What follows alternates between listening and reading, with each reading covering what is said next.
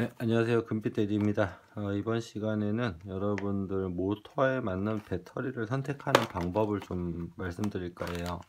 지난번엔 제가 이제 모터 선택하는 거 따로 배터리 선택하는 거 따로 이렇게 해서 좀 말씀을 드렸는데 어, 결론적으로 말씀드리면 여러분들이 모터를 배터리는 모터에 맞춰서 선택을 해야 됩니다. 제가 이제 제가 갖고 있는 배터리 몇 개를 준비를 했고요 모터를 몇 개 보여드리는데요.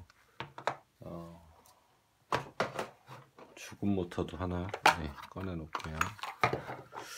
자, 여러분 좀 여기 모터가 되게 다양하죠. 모터가 다 여러 가지로 준비가 되어 있습니다. 어, 얘는 뭐 똑같은 거니까. 예. 이 모터는 레디트 스카이 1306 모터고요. 이거는 예, 가트 1806 제가 모터의 그 사이즈는 말씀드렸죠? 예, 모터의 사이즈는 그 모터 안쪽에 있는 예, 모터 안쪽에 있는 그 요 코일이 감겨 있는 거 이거를 이제 저 stator라고 하는데 이 stator의 그 지름 그러니까 여기서부터 여기까지 길이가 1, 길이가 앞에 두 자리, 그 다음에 이 높이가 뒤에 두 자리라고 보시면 돼요. 그러니까 18mm에 8mm짜리 1806 모터라고 보시면 되고 이거는 stator 사이즈가 13mm에 6mm 높이 6mm에서 1306 아, 요거는 지금 그 사이즈가 안 써 있는데 이거는 지금 2205급입니다. 22mm에 높이 5mm 정도 되는 모터고 얘는 써있죠. 예, 똑같이 205인데 이렇게 보면 얘가 더 높아 보이는데 실제로는 이 그 홀이 높은 거지 그러니까 이쪽에 그 공간이 높은 거지 이 모터가 stator가 훨 실제로 더 큰 건 아닙니다. 이거는 저 이게 이게 저 이게 저 모터 캔이라고 표현하는데 정확히는 모터 벨이고요. 이 모터 벨에 어 그 크기가 좀 외관상 좀 달라 보이기는 하는데 거의 그 까만 띠 부분이 거의 비슷하죠. 이 까만 띠가 거의 stator 사이즈랑 거의 같이 간다고 보시면 돼요. 그래서 stator 사이즈가 거의 동일하다 라고 말씀드려요. 그리고 자석이 이게 좀 더 크고 두껍죠? 요거보다 뭐 그런 차이가 있습니다.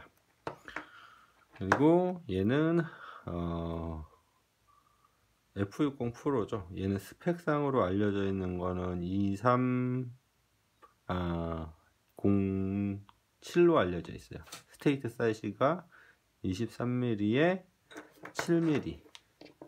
육안으로 봐선 1mm 차이기 때문에 거의 뭐 그 차이를 느낄 수가 없죠. 예, 그런 차이가 있습니다. 그리고 KV 값을 조정 변 그 KV 값에 영향을 주는 거는 권선 그러니까 여기 안에 들어있는 권선량이나 권선의 두께 이런 것들이 여기에 영향을 줍니다. 그리고 좀 무식한 모터. 제가 쓰는 아주 파워풀한 모터. F80 얘는 2408 그러니까 여기 stator 사이즈가 한 어, 24mm 정도 되고 위로 8mm 정도 되고 네, 그렇습니다.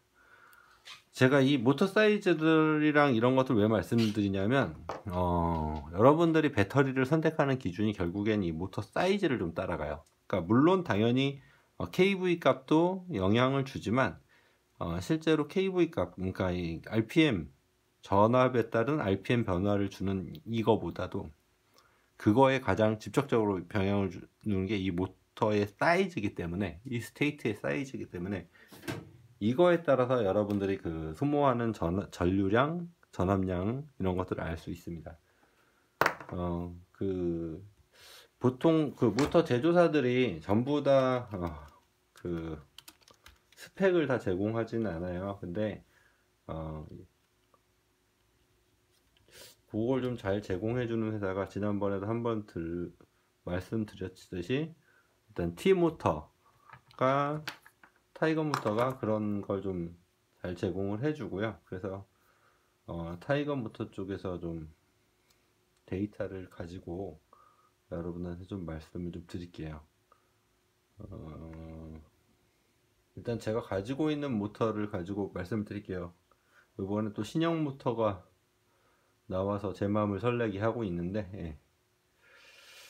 예, 마음은 설레지만 지갑이 안 열리는 걸로 예, 열고 싶지만 예, 자금 이슈가 있어서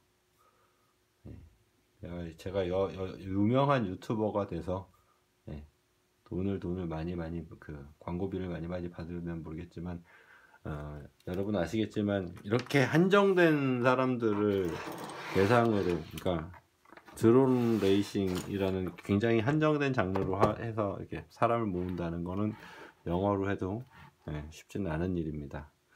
자 잡소리는 여기서 집어치우고 예, 말만 말만 많아지네요. 예.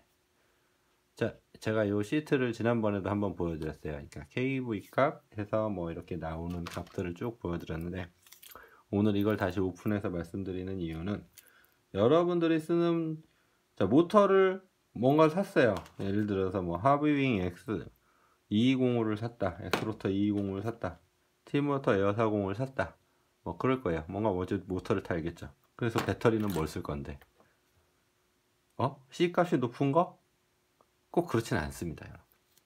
제가 뭐 이게 이 얘기 무슨 얘기냐면 이 모터들마다 스펙이 다 달라요. 그러니까 예를 들면 지금 이거는 이 F60 모터의 데이터 시트입니다. 근데 이 F60 같은 경우는 데이터 시트가 중에서 아래쪽에 보면 이거는 KV 값이 좀 다르네요. 예, 제가 쓰고 있는 거는 2500짜리였으니까.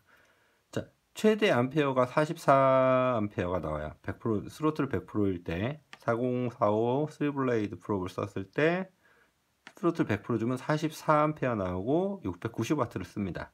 이게 뭐냐면 제가 말씀드렸잖아요. 와트는 전류 곱하기 저, 전, 전류 곱하기 전압이라고 말씀드렸잖아요. 그러니까 배터리가 15.5V 들어왔을 때 44 곱하면 690 나온다. 이 얘기예요. 이거 곱하기 이거는 이거다. 이 얘기예요. 그런데 이렇게 쓰지 않는데 C값 놓고 C값 놓고 높고 그 다음에 C값이 높으면 펀치가 좋다라고 표현하죠. 점유율 빨리 빼줄 수 있으니까. 그런데 상대적으로 그건 뭐가 되냐면 배터리가 두꺼워져요. 뚱뚱하고 살찌고 두꺼워집니다. 뭐 비교를 해드리면 어, 얘는 95C고 얘는 80C예요. 80C, 95C 임팩트 모터 배터리인데 이렇게 비교해 보면 얘가 더 크고 두꺼워요 다이노지가. 그러니까 소재, 재질, 모터 상, 그 배터리의 어떤 방식에 따라서 좀 차이가 나긴 한데 C 값이 높다고 해서 여러분 성능을 다 쓸 수 있는 게 아니에요. 모터의 성능을 다 쓸 수 있는 게 아닙니다. 네. 어차피 그 스로틀 제한이라든지 리미터는 변속기에 다 걸려 있어요. 뚫고 지나가긴 하지만 그러니까 제가 드리는 말씀 뭐냐면 여러분 모터에 맞는 거를 선, 배터리를 선택을 하시면 된다는 얘기예요. 이런 이런 배터리는요. 그 아까 보여드린 F60에 쓰면 딱 맞습니다. 2307급 80C에 힘 있는 대로 쫙쫙 뽑아주는 건 이런 모터 쓰면 딱 맞아요. 이걸로 이 모터에다가 이 배터리를 끼우면은 신나게 비행하면 한 2분에서 3분 정도 비행합니다. 제가 비행하는 스타일로는 한 3분 정도 하더라고요. 저는 그, 그, 그, 난리 같이 그 비행하는 사람들 사이에서도 아주 쫙쫙 그, 쭉쭉 째는 걸로 아주 유명한, 예, 스로틀 쭉쭉 끊는 걸로 유명합니다. 예, 보셨겠지만, 예. 아, 좀 강하게 날리는 스타일이에요. 그리고 만약에 여러분이 음 이렇게 이런 모터를 쓴다 그러면 1300으로도 충분해요. 에어 40에 1300, 1300mm 80C도 충분해요. 이 얘기를 왜 드리냐면, 어, 에어 40 한번 보여드릴게요. 여기도 스펙 시트가 있으니까. 음, 얘는 아무리 쭉쭉쭉 째고 막 날라다녀도 max가 36.74예요. 36.74.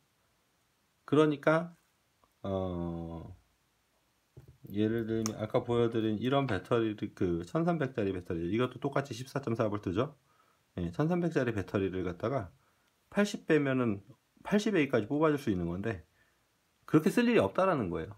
1300짜리 배터리를 80A까지 80A까지 뽑을 일이 없어요. 그러니까 이게 40C만 돼도 얘는 충분한 겁니다. 이거 다 못 쓴다는 얘기예요. 배터리 방전량. 그거보다 약간 여유 있게 쓸 수는 있겠죠. 한 60C, 65C 정도 되는 거로 이렇게 쓰면 좀더 여유 있게 모터 운영이 가능합니다. 그래서 굳이 C가 높아서 펀치가 높다라고 이렇게 딱 한정적으로 생각하시지 마시고 C가 높으면 펀치가 높은 건 사실인데 어차피 그 펀치를 얘가 못 써요 모터가. 그러니까 굳이 이렇게 막 힘세고 비싼 모터를 쓸 거냐? 그건 아니라는 겁니다. 배터리는 C 값이라든지 용량이라든지 따라서 가격이 좀 차이가 많이 나요 이 다이노지 1600하고 제가 쓰고 있는 거예요 다이노지 울트라 1600인데 1600하고 1800하고 200mm 차이 나는데 가격은 만 원 정도 차이 납니다. 200mm. 너무, 너무 이제 차이가 많이 나는 거죠. 그 굳이 그렇게 쓰실 필요 없다고 말씀드린 거예요. 여러분이 머물고 있는 클래스에서 충분히 모터의 클래스, 기체의 클래스에 맞게 배터리를 선택하고 쓰시다가 모터를 갈면 배터리도 갈아야 됩니다. 모터를 바꿀 때는 여러분 배터리도 갈아야 된다라는 걸 명심하셔야 돼요. 왜 그러냐면 모터는 급이 여기 있다가 이거 쓰다가 이렇게 올라온 F60으로 올라왔어요 근데 배터리 이거 쓰면 어차피 제대로 못 날려요 그렇다고 처음부터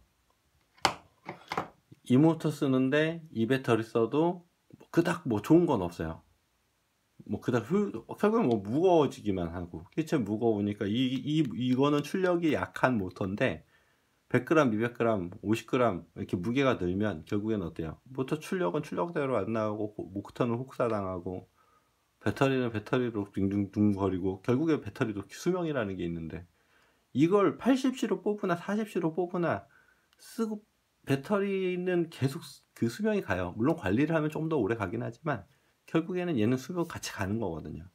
근데 이 모터에 어울리지 않는 모터에 어울리지 않는 배터리를 이렇게 딱 맞춰 갖고서 쓰다가 얘가 가면 빠이빠이인 거죠 뭐 얘도 얘도 빠이빠이 되는 거죠 그러니까 여러분 클래스에 맞는 모터와 배터리 그러니까 배터리를 처음에 살 때 너무 많이 사지 마세요 배터리를 살때 어, 비행 시간이 짧으니까 배터리를 많이 사야지 하고서 사시는 분들이 있는데 전 그 권하지는 않습니다. 그런 방법은 권하지 않고 배터리는 여러분 모터 클래스에 맞게 어, 그 적당히 한 6팩 정도 5팩에서 6팩 정도 돌리시면 딱 좋을 것 같아요. 그래서 뭐 세팅하고 뭐 하고 하면 그렇게 오래 날리지는 않고 처음에 입문하면은 그 비행을 하시면은 잘 날리는 사람들은 그러니까 혹은 저처럼 쭉쭉 째는 사람들은 비행 시간이 3분에서 3분을 잘 안 넘어가요 잘 진짜로.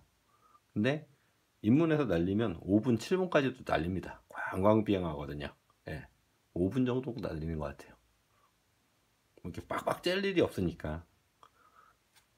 그렇기 때문에 여러분이 입문자 모터 뭐 보통 요새는 2205, 2206, 2207 이렇게 입문하시는데요.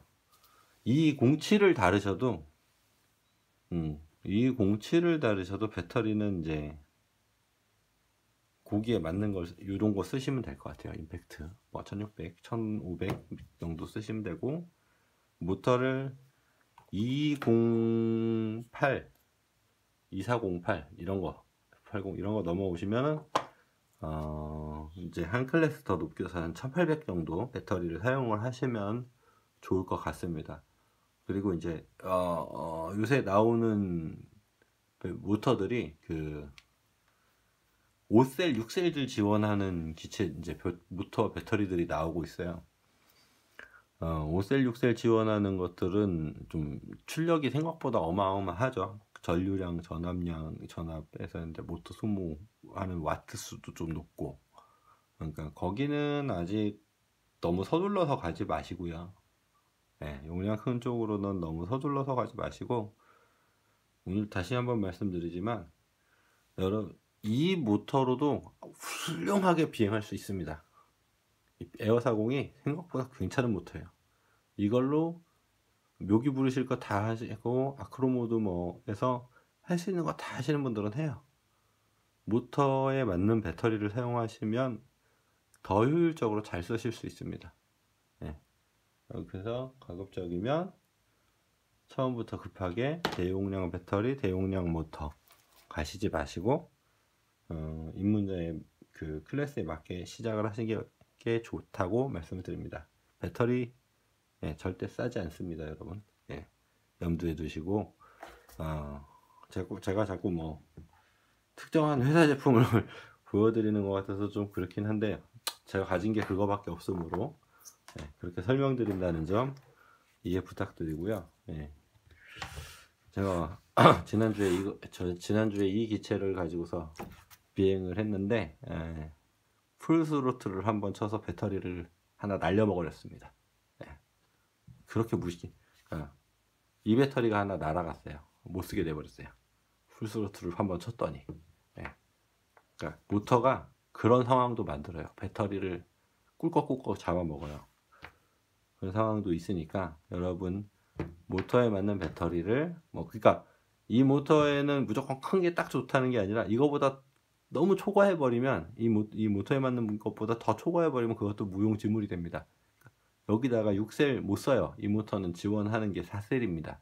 예. 4셀에 한 1800 정도 쓰면 적당한 것 같아요. 1800에서 100C 정도 되는 거.